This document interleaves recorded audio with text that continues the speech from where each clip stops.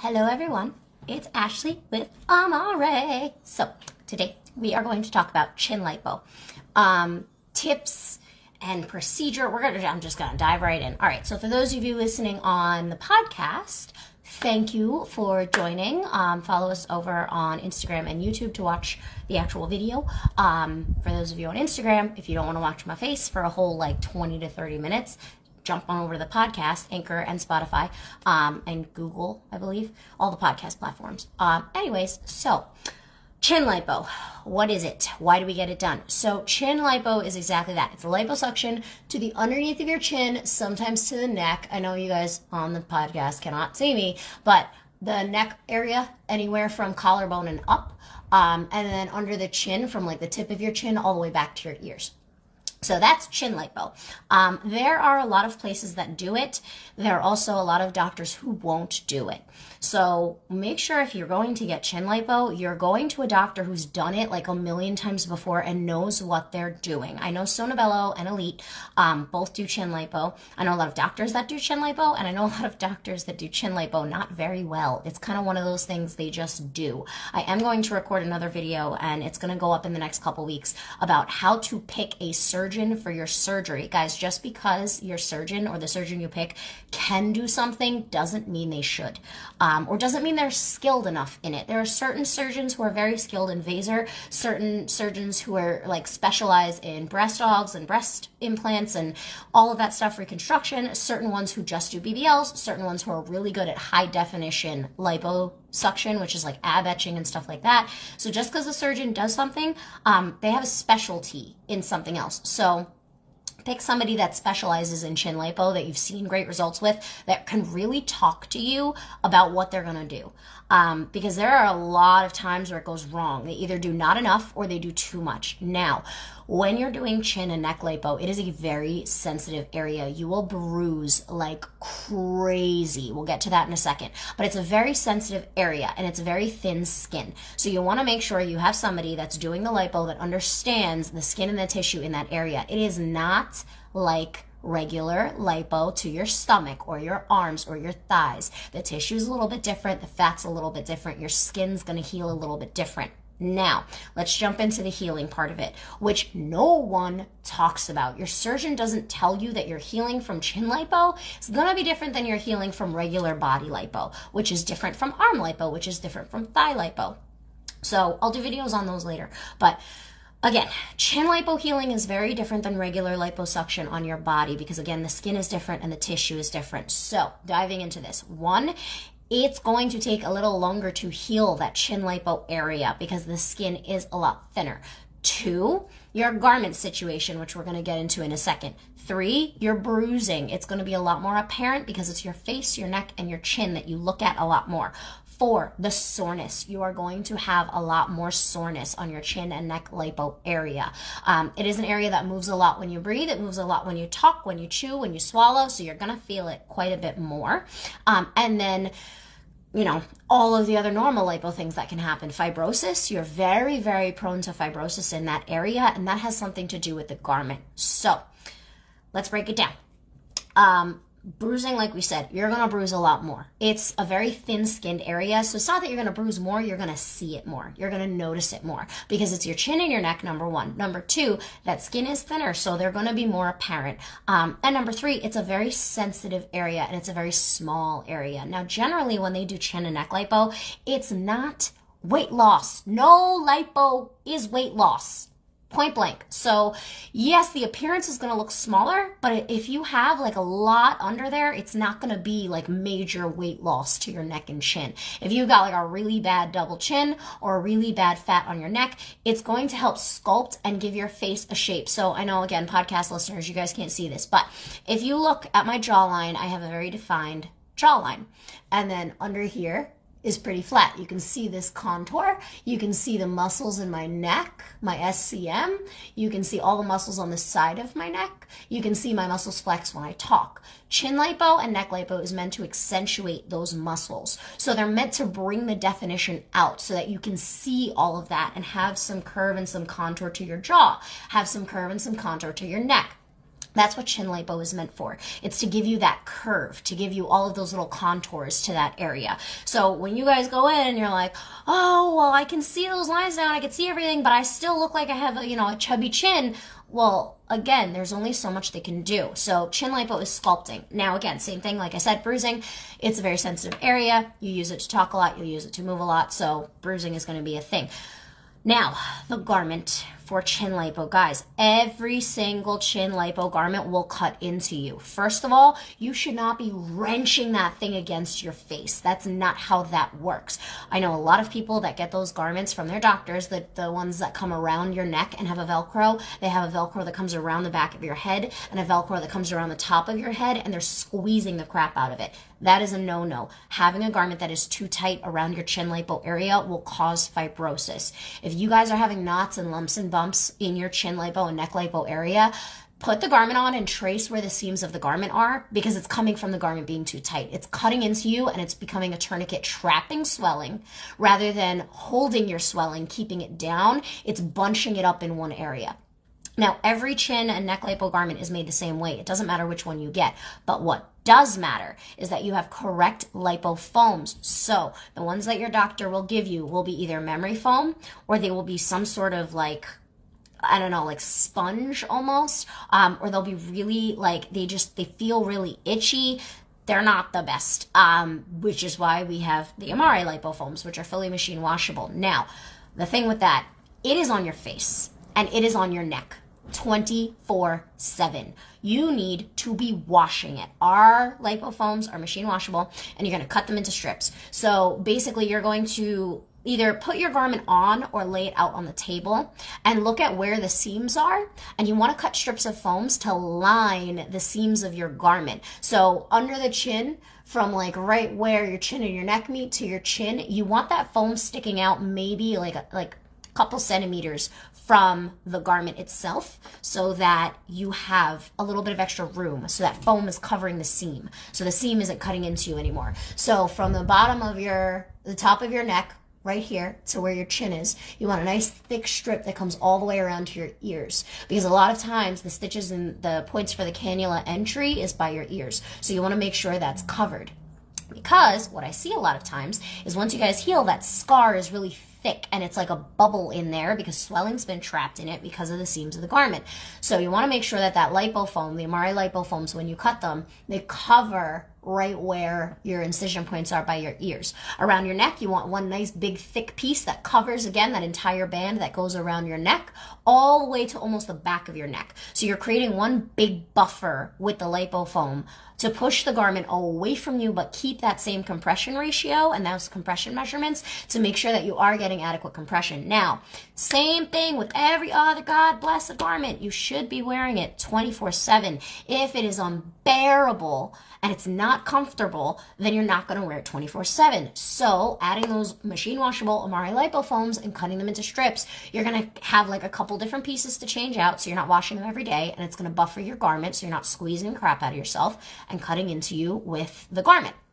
So, um, that being said, you guys need to be wearing your garment. How long? Until you have zero swelling, until you have zero hardness, until you have zero fibrosis. So that could be anywhere from four weeks to six weeks to eight weeks, depending on what it is. Now, let's just make something very clear. Just because you had surgery four weeks ago, if you weren't doing any of this before this point, you are now starting at day one Four weeks ago doesn't count if you have all this fibrosis and you're now finding this video and you're now putting the Amare lipofoams in and you're now taking care of your swelling. None of that matters until you actually start taking care of it, which is why I say it can take way longer than four or six weeks. It can take longer than three months because if you're not actively taking care of it, it's going to get worse. Fibrosis, those hard, hard little things, the lumps and stuff that you get after chin lipo where it feels like hard and thick and like you want to stretch it, but it won't stretch that is lymph fluid that, because of the garment trapping it against you and inside of you, has become hard and thick and congealed. The lipofoams that we sell turn that fibrosis back to its original liquid state. Then you need to go get proper manual lymphatic drainage massages to your chin and neck and face to get all of that fluid to drain back into your body and then you pee it out. So, again, I know we have this constant struggle with finding MLD practitioners, proper manual lymphatic drainage water practitioners. If you need help with that, um, set up a virtual with me. If you need help with the foams and your garment for your lipo and for your chin and stuff like that, you can set up a virtual. I can help you with that too. Everything I just explained about cutting the strips, I can actually do it with you to make sure that it fits right for the garment that you have. Um, we can do all of that together. But garment and foams, number one thing, 24 7 until you have zero hardness and all your swelling is starting to resolve. The bruising, bruising will get trapped in your fibrosis. I have seen discoloration and bruising with chin lipo for three months. And then once we start resolving the fibrosis, you get circulation back. Now, talking about the bruising, there is a difference between discoloration from fibrosis, where your skin is like pink, um, or like purple and red, but not actually bruised. That is the fibrosis cutting off circulation just beneath your skin. When you do this, when you like run your finger down your neck, if your skin is changing colors, you're having circulation issues because of the fibrosis. When you have a bruise, right? Let's say you stub your toe. Or let's say you like bump into something on your leg, right? When you have a bruise and you run your finger over the bruise, you just press and like run your finger across the bruise, that bruise doesn't change colors. That skin doesn't go white to pink to purple. It just stays the bruised color because that's a true bruise. When you have discoloration, due to the fibrosis being hard, it's because your skin's not getting enough circulation. So the second thing that we use is the post-op extra strength cream that is on the Amare post-op shop. And you're going to rub with that cream three times a day to get the circulation to come back to your neck and to your skin to get the fibrosis to start breaking down along with using the foams 24 7. So you're going to dip your hands in it and you're just going to with only fingertips you're not digging just fingertips rub rub rub rub rub rub rub. Doesn't matter circular motions it doesn't matter which direction because it's the whole area so you're just to rub. It's easiest to do if you're laying down or if you put your head back against the chair like this and rub when it's relaxed. See how my skin is moving that's what you want. You want skin movement in this area with that post-op cream. So lots of skin movement and you're rubbing until it's bone dry and you're not putting on a thick layer because you're doing it three times a day. So one, the herbs in there are going to help with the discoloration and the circulation. Two, this rubbing with that specific cream is going to help break down your fibrosis and bring back circulation as well. Um, and number three, the pain that you're feeling and the soreness and the stiffness, the herbs in that post-op extra strength cream that we have will help take care of the numbness, the tingling, everything that you're feeling, all that discoloration, all the soreness and the stiffness. It'll help bring all of that back because the herbs are getting in there. So you want to make sure you're doing all of it three times a day with that extra strength post-op cream and wearing your Amare Lipofoams 24 7 with your garment, um, whatever fin- chin or face garment that is, um, on top of drinking a gallon of water a day. You guys need to be hydrated. Duh. Come on now. Hello. Number one, to plump up your lymphatic system and get that hardness to get back to being soft and squishy swelling. Uh, and number two, the swallowing action helps to stimulate your lymphatic system. So the more water you drink, the better. The worst thing to try and do with fibrosis is stretch it. You don't want to like pull and stretch. That fibrosis, I have tons of videos and podcasts on fibrosis. That fibrosis is like spider webs all along your neck sticking to everything, holding you in place. The worst thing you can do is try to stretch that. Don't stretch it. Start doing like some neck rolls. Start doing some shoulder rolls. Get some circulation back in there. Start using the Amare post-op cream, um, or the post-op extra strength cream. Start using the Amare lipofoams. Get your garment to fit properly and start getting some circulation and some gentle movement in that whole neck and chin area. Don't stretch it. You're just going to be pulling on fibrosis. It's not going to help. It's going to make you more sore and piss off all that tissue. So water, post-op extra strength cream, Amare lipo foams and rigging your garment with those foams to make sure that everything is moving properly. Okay, so now bruising we talked about, stiffness, pain, soreness, fibrosis, all of that. The other thing that is a real pain in the butt. Um, you guys shouldn't be having salt. I say it a lot in all my videos. I mentioned it a little bit, but salt will make your fibrosis worse. No salt. The end. That is non negotiable. Caffeine will also do the same thing. It'll dehydrate you and dry you out and make all of this a lot tougher. Um, biggest complaints that I hear about chin lipo is that even if there's no fibrosis with your amount of swelling, and I mean, I usually don't see chin lipo people until about their two month, three month, six month, eight month, a year, um, because your doctor tells you, oh, it'll go down, oh, it'll go down, oh, it'll go down, and then guess what? Six months later, a year later, you're not, it hasn't gone down. And you find me and you're like, okay, my chin looks worse. My neck looks worse than it did a year ago. My doctor said to wait and it didn't happen. So now I'm doing other things to fix it. So that swelling will stay trapped in there if you don't take care of it.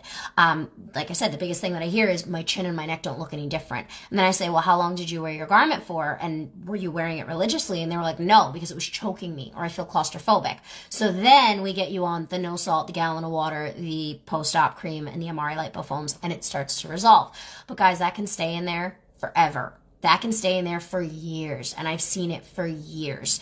Um, and even if you can't get proper mld massages for somebody who specializes in like a head neck and face protocol like i do or who's you know well versed in this post-op stuff as far as chin liposuction, using that post-op cream is still giving you that lymphatic movement. Moving your skin on your neck with that post-op cream is going to give you that lymphatic movement. Yes, it's not going to be as powerful and as targeted as if you were coming to see me or if we found you somebody that was doing it, but it's still going to make a difference and it's still going to help. So, how long does it take for it to reverse?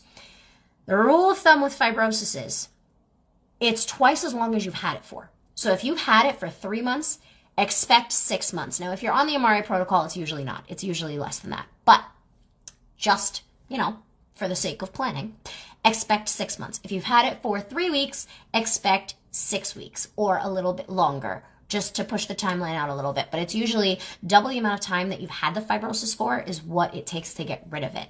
Because again, or that fibrosis, especially in your neck and chin area, we have to get that back to being swelling and then we have to get that swelling out of your body. It's got to process through your body and then you got to pee it out. So that's generally how long that takes. Um, with the pain from chin lipo, with recovery, as far as like how long you need to be out of work for, I know a lot of surgeons will say, "Oh, it'll, it'll be quick. You'll you need like a month. You're gonna be fine, or you'll need like a week. You're gonna be okay." Yes, you can. But guys, it's your face and it's your neck and you want to make sure that it looks good and you want to take the time to make sure that it heals right. So as far as, okay, I'm getting chin lipo, how long should I wait or how long should I be out of work? Um, I usually say six weeks just to make sure that we do get everything out, that you're presentable, that you're FaceTime ready, that you're Zoom ready, that you're back in, you know, to be out in public and seen with people because you should be wearing that garment 24 seven. Yes, at some point, you can scale down to just at night or just when you're home, but it's going to make everything take a lot longer as far as getting rid of fibrosis, getting rid of swelling, making sure you heal, all of that. Now, last little tidbit I'm going to say skin retraction. You guys will get chin lipo done, neck lipo done. You will have fibrosis for three months. It'll be really, really hard and look terrible and be all discolored. Once the discoloration goes away, as the fibrosis breaks up and your skin heals properly and gets circulation and everything back, um, it then takes another four weeks, three to four weeks, for your skin to fully like re not reattach, but yes, drape as they say, skin draping after lipo, drape back to its normal baseline. So my skin when I move is nice and tight and nice and taut. Um, there are a lot of surgeons that will do Vaser skin tightening with the liposuction or some sort of skin tightening for under here with the liposuction. That makes you take longer to heal because again, first of all, we have to get all the fibrosis to go back to swelling. So you're going to poof up. And then as we get the swelling out with MLD, you're going to have, you know, a little bit of skin that hasn't reattached yet and looks kind of like flabby almost because it's been in a garment and it's been pushed away from its baseline with swelling, with fibrosis. It hasn't been able to get to that tissue and reattach yet. So expect after all of your swelling is gone, and all of your fibrosis is gone and everything's completely healed for it to take another three to four weeks for your skin to attach properly and redrape and get nice and tight and taut again and heal properly to where it's like nice skin that's the kind of thick that you can like touch and has a little bit of muscle tone to it rather than just being like squishy flabby skin. Um, so that with any lipo is is a normal process that happens afterwards. That usually happens around month two and three in regular body lipo as long as we have no swelling no fibrosis. Generally it's month two and three where the skin redraping happenings ha- happenings happens and your skin starts to come back to that new baseline of tissue. Um, same thing like i said with the neck and chin.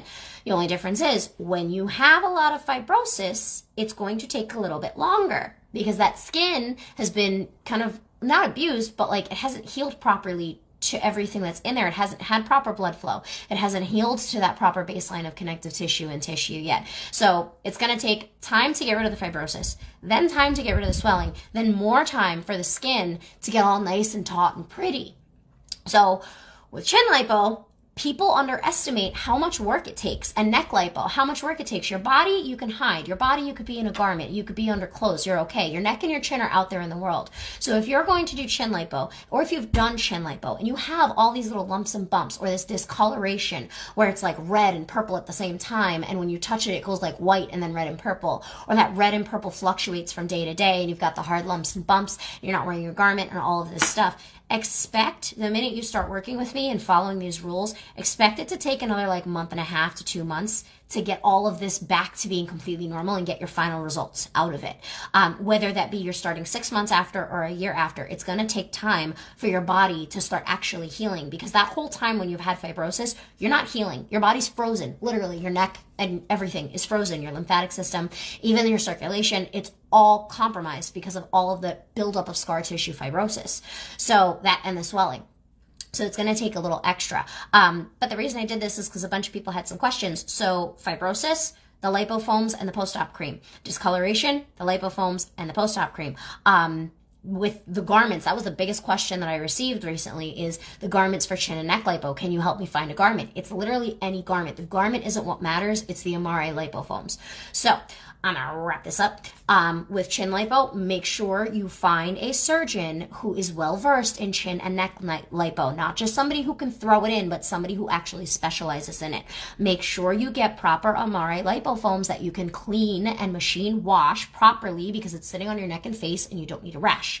Um, also, you want to make sure that they are, you know, actual lipofoams. They're not memory foam. They're not going to push into you and suffocate you under your garment, but they're going to push the garment away from you. That's the point of our foams um, making sure that you're getting the proper post-op cream for that circulation and the soreness and the bruising and all of that. Uh, water, gallon of water a day. That swallowing action with the water is going to help a lot with the swelling. Um, no salt, as I say all the time. No salt. The end. Um, no coffee the end and making sure that you are actually looking at it and keeping a check on it. I know a lot of people will just keep their garment on for like four weeks not ever take it off not look at it not check on it not see what's going on not realize it's hard. And then at that point they find me because there's a huge problem and it's all fibrotic and it looks crazy and their incisions look crazy. So that's a little bit about that. If you guys are purchasing the lipofoams and the post-op cream please watch the videos on those products first so you know how to use them. if you need to set up a virtual with me, 732-841-0142. Call Alex. She will be able to help you in our office schedule with me. And um, Amare Post-Op Shop for your supplies. The link is in the bio. Guys, thank you so much for watching. I will talk to you soon. Have a good day. Bye.